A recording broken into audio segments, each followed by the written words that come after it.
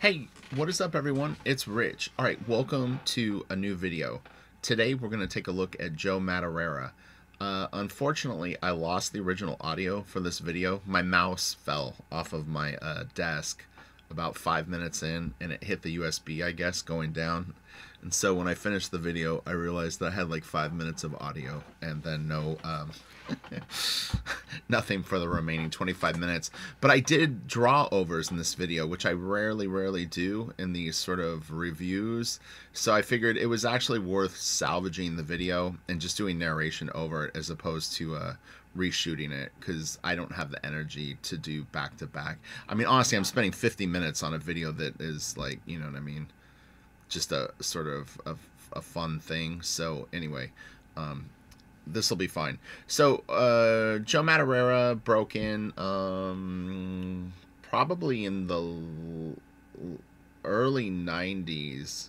Um, I met a guy who actually went to high school with him just this past year at Comic Con, and uh, he said Joe was great you know he said in high school he was he was just a killer killer artist. And i think by the age of about 17 16 16 i think he was interning at marvel doing just sort of odd jobs. And i think by 17 um, they started to feed him some short stories something like that.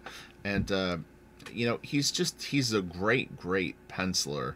Um, he uh, he's really really clever with his layouts. I was i was gonna say um, if you the middle panel on that was a silhouette uh, so anyway we're moving to the inhumans work this stuff was all colored over the original pencils and um, he's great with shapes so you'll see like um, hair sinewy muscle uh, he really uses that um, in a very three-dimensional way. I was talking about here the anatomy on her, how simple it was, but his his overall cartoony forms are really really solid. He's got these great cylinders and sort of bowling pin shapes, and then we're going to take a closer look at this guy. I, st I start talking about the upshot um, on his head, and uh, I had done a lesson earlier this morning. I did two, in fact, in a row, um, uh, where uh, I was breaking down heads for people at trickier angles, and um, Joe does it really, really nicely. And um, we go into full screen mode here and uh, we should be moving along. Some of the sequential pages you'll see me move through a little bit quicker. The reason being is that I had so many files open I wanted to make sure that we were able to enjoy a wide variety of his work. So I start out a little slower but you'll see in a few minutes I start hustling through some of the more I don't know like I was calling pedestrian pages. Just mean talking heads or stuff like that uh, people ask me where do I get the the scans for all this stuff? Generally speaking um, I grab them off the internet. So these were off of his art dealer site quancheng.com and uh, this is one of the figures that I talk about. Like if you look at how boxy his forms are and how three-dimensional they are it, it's how he lights the form. So he's got light coming from behind that character, and then any plane, meaning any sort of, uh, well, plane, uh, like edge of of the boxes that he creates for the anatomy, will either catch light or they won't or they'll have gray meaning like rendering. And that's how you light stuff. So i kind of show right here like just simple form going over it like the topography of the muscles. And you see like that's the light plane and then it goes into the dark. Because that dark area is a um side plane. And that's how he indicates that stuff and that's how he's making those decisions on the abs well this chest like look i'll split it into like three pieces you see? And it's like again if you can think wireframe on this stuff it will really really help. And uh, then I show the back muscles really quick or like a simple shape that you can throw in there. Because I, I, had done a Bridgman lesson for uh, another person that wasn't working on heads and hands that uh, how you can set up figures with just those landmarks, you know, and being able to move those landmarks around really helps. So one thing that Joe did a lot in Battle Chasers was silhouettes. Generally speaking, and this isn't a across the board statement, he would throw up he would throw a silhouette on just about every page, and I I actually loved the way that it looked.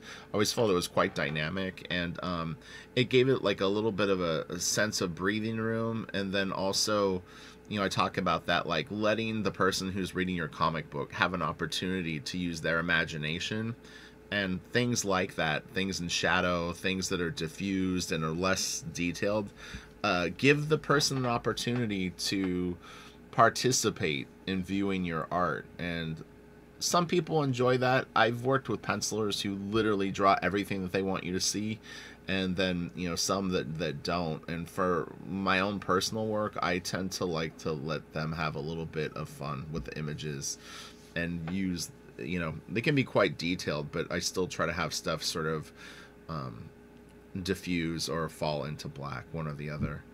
And joe's layouts are great You can see he's really pulling from left to right here. I can't use the pointer uh, as much as I would normally in a video, but it's fine. This video is really, really good, so... And again, you can see that sort of skeletal monster that that guy's sort of talking to. Joe's great with that. I think I moved through these kind of quick. He does houses great. Uh, it's funny, the Viktor Bogdanovic did a page in Dead, Dead Shot that was very similar to that woman in the hospital, but it's funny sort of break down this guy's head just the tiniest bit. But again, I'm just showing the planes of the head and how his forms are so chunky and three dimensional and uh, how solid it is. You know, he just he's got these great masses, like the nose, that just that big hunk of um, geometry there. The eye sock or the eye, the, the lower lid, how it's it's like a a shape that wraps around the eye, and the eye sits inside of that pocket it's just rock solid. Rock solid drawing. The same here. I go over the ab and show. Do you see the planes? That lower plane where the shadow is, and then the upper plane. They're just basically like little little rectangles, and then this you see goes over that. Her breast, the same deal. It's like you know, if you can think of it as like a wireframe, it'll help you place costume and stuff like that over it. So, you know, the more you can feel it, and to see they get tighter, the lines get tighter as they go away from us or further up around the the spherical shape. This is a great page. I honestly can't tell what that object is that's silhouetting behind, or not silhouetting, but the thing that's sitting behind those panels. This is great though. Look at the guy's arm. And that goo is starting to like attach to him or it's coming out of him. I'm not sure which. It was when i when i did this page i actually didn't remember it in the comic or or even seen the scan before. But yeah that is that on his back? I have no idea what that big thing is behind the panel but it looks really cool and it looks very fleshy and meaty. That little city he draws great trees. His trees are always really really cool. They're very three-dimensional. They're very cartoony and again, he uses the black in there to really kind of play it up. Stuff is nice. I was saying, I think at this point that that um, when Joe when Joe really got rolling on Battle Chasers, I do think that his work was very very influential to a lot of people. Even before that, I think a lot of people have a nostalgia to um, Joe's work because uh, there was a lot of teenagers and people kind of getting into comic books at that point and I think Joe was like a little bit of a hero to them because he was a young artist and uh, was awesome. You know, S stuff is all classic. He's done that kind of stuff in so many of his comics with that weird, smoky, fleshy bones and monsters sort of again, we'll move through some of these pretty quick. This was kind of interesting. It, it, caught my eye because the way that the black was filled in on the page looked different. Like, I don't know what he used to fill that in, but it looks very very different than the rest of the pencil stuff. I don't know if it's like a dry marker or what it was, but this is real cool. That cop, like that's such a great little gesture there. And then that's two point perspective. Uh, I I'm showing where the vanishing points are right now, and uh, they go off, but um, yeah, there's one over there, and then eye level cuts right about there, and so you can find the vanishing points off to the left and right. And this is two point perspective too and I, I was complimentary towards the fact that he had actually drawn the Statue of Liberty and didn't just get a photo and like lightbox it. Or now I'm I'm sure you could get like a Google SketchUp model of it. But there's there's just a connection that you're gonna have to an artist who actually spends the time just working out the drawing. It's gonna look more like their stuff, you know. The structure of the, of a 3D model isn't gonna have the same um, character some people can blend it in better than others, though, but generally speaking, I would just prefer to see someone just draw it. Stuff is all really cool. He's great with action, these fight scenes and stuff like that. He really moves the camera around great. He crops things well. Um, you know, like look at that guy's fist in that second panel. It was like actually partially out. This is great. Kind of has a Kira vibe. I was saying his rocks are awesome too. They're always real chunky and um, he'll put like cool shadows on them and stuff like that. It's always really nice. Good stuff. We'll probably move through these a little quicker. Nice energy.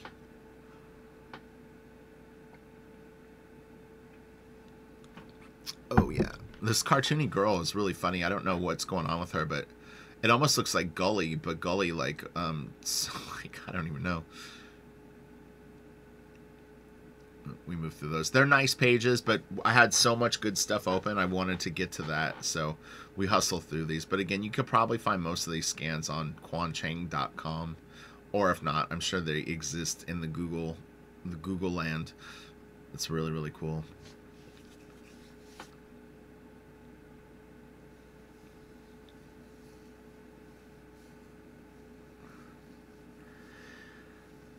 if I'm not mistaken, Joe got up to issue 10 of Battle Chasers. I would have loved to have seen more. It really was probably my favorite comic book coming out at that time when it was coming out. And I, I liked Joe's stuff before he started it, but the the genre of the book and the character designs and stuff like that really, really won me over. And also the beautiful colors. Liquid just did a killer, killer job on it. So, um, yeah, all that together really made it a fun book. Atomic Weenies inks were great on it too. Um, so on this one, I talked about the side views a little bit and how Joe did a pretty effective job of using profiles in this too. In fact, um, and I think part part of what made it work is the fact that they are back to back and sort of facing off, but you do have the lower figure and then the one to the right of the monster guy that are facing forward so it kind of balances things out also the angle that he has the um, monster guy's head he's kind of looking in at us. He's starting it feels like he's starting to turn his head towards us. If you look at his lips you can see there's a center seam that's not on the side but then her profile the angle of it made, made it work. Her head was sort of tilted down. Some really great 3d shapes on this piece like he's got the hair really kind of just coming in and out and um, you know, you can just see these nice, almost like Saturn-like rings to it, where it's just, it's going up and down, and it's like a roller coaster ride. It's a very, very cool page. Man, that is so awesome. It's a really, really great figure. His knee and thigh really looks great. That hand, too, in that bottom panel is awesome. It was funny because there was a video I think it was I had done the book twice, so it was on the channel once before, and then I had done it more recently. And it was funny watching the two videos. I think it was the Silvestri, how consistent I was with what I pointed out. So it was, it was funny to see the two because they were very, they were different but similar, and I would generally tend to gravitate towards uh, pointing out things that were pretty consistent. It was, it was trippy. Man, that second that guy's face is great. This is cool. I talk about the uh, the planes again here a little bit more. How the light source is obviously coming from that guy that's burning up in front of him. But what I show you is like the simple forms that he's lighting. So anything facing the fire is going to be white because it's so hot. So that's facing the fire, that thing, and then this side plane. I screwed it up at first, but that that's a side plane, so it's going to have shadow, and it transfers over even into his arm. And if there was another plane that was facing the fire, it will be white. And then that side plane is that. And so like right there, the arm, that front plane is white, the side plane is black. And then that little muscle right there, you've got that shape, but then this, the one that's right in front of it is facing forward on the neck. That's behind it. And then that is pulling forward. So the white is a shape in front. Again, I'm gonna do a video for Patreon for everyone on Patreon right after I film this. I'm gonna go over Bridgman and talk about this stuff a little bit more. So they'll get a nice drawing video today about the planes of the body and then um, how stuff interlocks. We move through these pretty quick. It's a nice spread.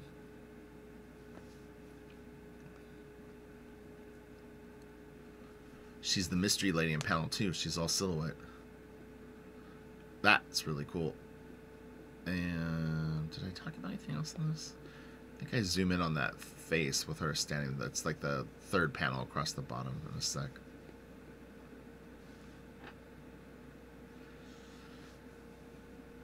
Yeah, that panel right there is really cool. The second to last one is great.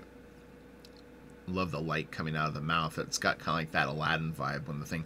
Oh yeah, and this was cool too. So on this piece, what I was saying is like if you got the script and it was like we need the guy like climbing up the mountain, you know, big shot I, I mean, I would have never have pictured something as dramatic as what Joe did, but boy, I'll tell you what, pulling in that close on the guy instead of maybe a more pulled back shot with like you're showing more of the the mountain and like the figure is smaller, he just nailed it with that that first hand in the foreground and how the shapes overlap and then go down to him. I mean, that's just a 10 out of 10. He made such a good decision on that and he executed that drawing so well. And it's just like, man, remember stuff like that when you're trying to problem solve something from a script. I go through these quick because I want to get to the um, character designs. But yeah, when you see something like that where someone really raised the bar on an idea, if you can picture what the script might have said, um, that'll help you like have the um, patience to try multiple ideas for um, trans translating something from the written word. You know, a guy kicks in a door. Maybe your first idea is a little too tame. You know, amp it up. So anyway, with this, uh, I'm nearly sure this is the Joker.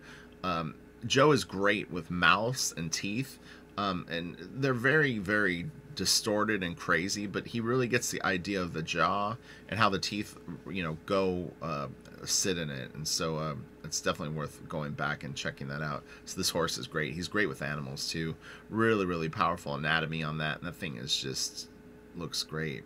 The the saddle and all the sort of weird, I don't know what you call it, like bony masses coming out of it are great. It's a cool idea too. I mean, basically, you know, printed out the horse and then just tried different armor designs over it. It's an effective way to uh, do it. This is a beautiful piece. This is the cover for Ultimates, if I'm not mistaken. And uh, this is probably colored from the pencils. And uh, man, it's just awesome. Speaking of that, you can actually get a pencils only version of the Ultimates in hardcover. I have it, and I have the color version too in hardcover. But it's very, very rare and it's very expensive. To find it now is really difficult. Um, but uh, yeah, there is an Ultimate. I can't think of what the exact title of it is, but it is. It's the whole series that he did, just the pencils and lettering. So, but it's gonna run you probably 150 to 250 bucks, if not more. They're real scarce sucks. I didn't realize it was so, was so hard to get. I had bought it when it came out. but if you've got deep pockets, you could pull the trigger on that at some point. They don't even really pop up on eBay or Amazon that often, honestly. That Venom is so badass. His Venom is great all the time. His Blob is good too. The teeth, I mean, and again, look at Sabretooth's teeth. It's so feral and just, man, he sinks it in there. This is just the the I sled. His Spider Man is great too. Well, the whole thing is great. Super dynamic. There wasn't one boring pose on that. This is awesome. the colors are very dark, but you know what? It looks beautiful. That like lava sort of effect coming out of the sword is so killer. And I mean, that dude is just a tank. This is great too. Look at that. You see that guy in a forest, you're running for it or begging for mercy. His guns are awesome. He does like Joe has the ability to draw just about everything looking cool. And if you can get that, you don't have to draw it like Joe, but if you can break down stuff and make everything look cool, people will love your art. It's just the way that it is. You can do it 150 different ways, thousands of different ways. If you can make everything look cool, you're set. Sounds simple, right? You have to have good taste and a good combination of, of influences, you know. Put it through your filter and then deliver the goods. it's nice. Nicey spicy. Oh yeah, look at that. horsey. Things got muscles on muscles. Mad.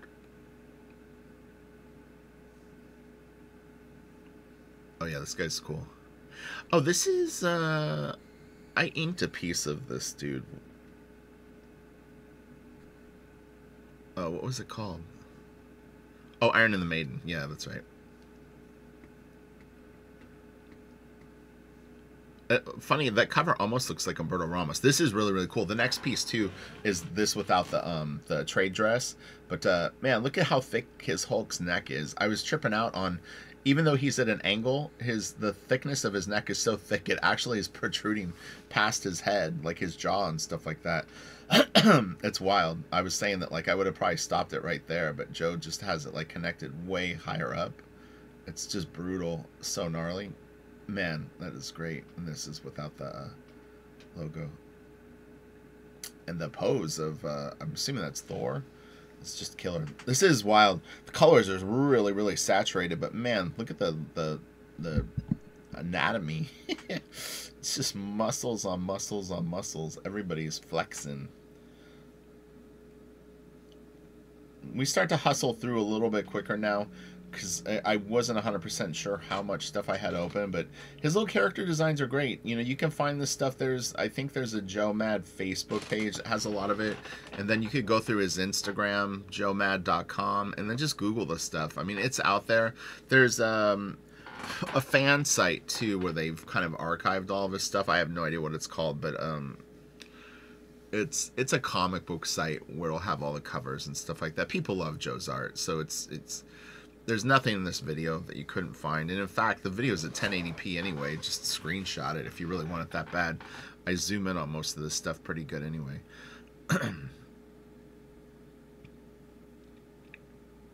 His big characters are so cool looking. Oh yeah, I draw, I draw a little bit of anatomy on this to just show the big chunky plank pieces that he uses. But, you know, his forms are great. The kneecap is awesome. It's like a big wedge of rectangle right there. I kind of pull it out and sort of show what he's doing. Might need to be turned just a tiny bit more, but uh, I think I tweak it at the end, like that. It goes that way down.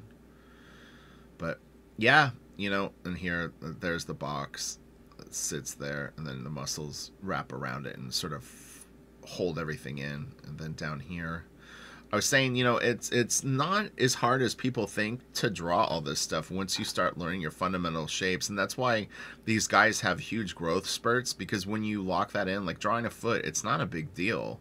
It really isn't.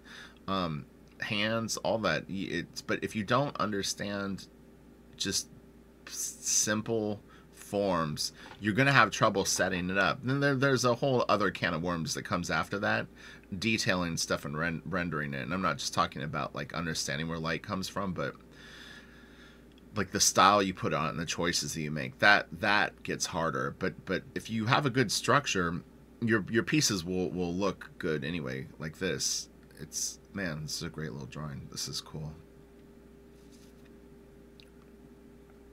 Shaman. That's really cool.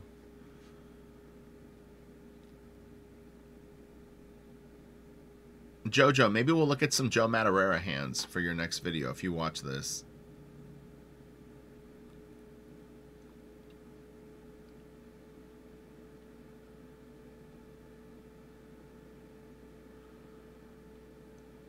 Was, I had said when I saw this in the the video when I was shooting it that I I've I've watched a walkthrough of of uh, Darksiders and I think that that was from the game. I, I vaguely remember that environment. It kind of a lot of environments in those kind of games look like that.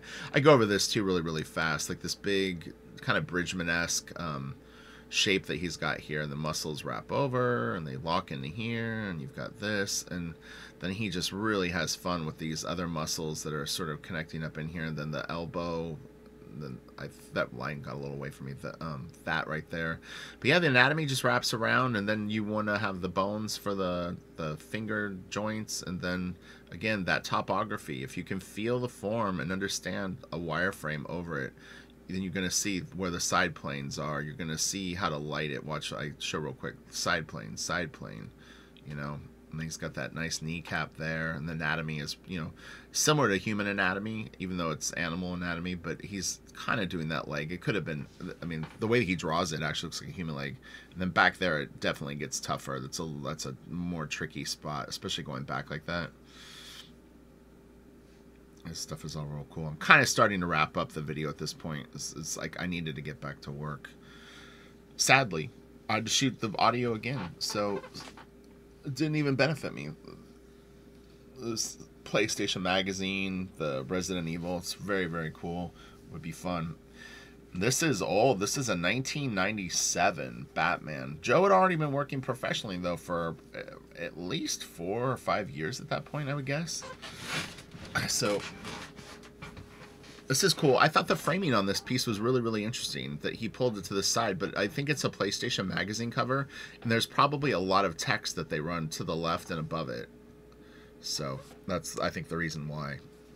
It's cool. I remember all these. This is the Street Fighter comic. I actually have this comic. It's funny because it's colored by Udon. Um, it'll it'll pop up in a second. There's some pages from it. But yeah, that was pretty cool. Oh, there you go. Yeah, so he did a short story in um, a Street Fighter comic, colored by Udon. So it was before he had worked with Liquid, if I'm not mistaken. This Teenage Mutant Ninja Turtles piece is amazing. It's inked by Tim Townsend, and boy, the two of them together, they just crushed this piece. It's absolutely beautiful. Look at the stretch on his mouth, and and even his head and neck. It's just such fun shapes and he really really cartoons the shit out of it. Even the the chain how do you see how it's kind of curving as it's coming out? He didn't do the um uh more chunky chain that we were looking at uh yesterday. I can't remember who it was off the top of my head. That turtle is great too by the way. We've done so many videos now it's all starting to blur together for me. And the lighting on the the mutant ninja turtles heads like that is just awesome. Oh, and then I show the the throwing stars and how they're at perspective and how you can kind of work that out. If you if you can find the box that sits around it, I show that kind of pulled away from it. So that's the shape that it's sitting in. And then when you have to draw the, the throwing star, if you work in that three-dimensional space of the, the, the planes are getting foreshortened, it makes it much easier to draw that stuff in um, not only perspective. That one was drifting a little bit. I had the um the angle the the vertical lines were off a little bit. But anyway, but there's a vanishing point over there that he's kind of pulling it to, and the lines are converging. And so once you find, you can just kind of grid it out. Put an X, find the center, and you can build it out. And I show that one is sitting in a box too. That's off right there. It should should be. Uh, I I didn't realize it was rotated but I fixed it in a second. I was like, when I started to do the detail, I was like, oh, wait a second, it's actually turned. So it actually goes like this. There you go. And then, then you find the center point, get the X, and you can fill that stuff in because it's divided now. Divide it in half, divide it across. I remember that. I couldn't remember what that was from. Um, Wonder Woman. That's 98. Little skeleton guy again and then we're pretty much wrapping it up here. All right, hopefully that was fun to look at, and um, what we're going to do this afternoon is still up to debate. But anyway, smash the like, please, subscribe. If you can, share the video. I would actually really, really appreciate it. You don't have to share this one, but at some point, share something of mine and help me grow the channel. So, all right, and then check out Patreon if you want to get your learn on. Uh, it will really be awesome for you. And uh, speaking of learning, that was some of the bridgman that I was going over. I'm breaking it down for people so that they can draw powerful, powerful drawings like Joe Madureira, Silvestri, Frazetta. I mean, just right on down the line. All right, have a good one. Bye.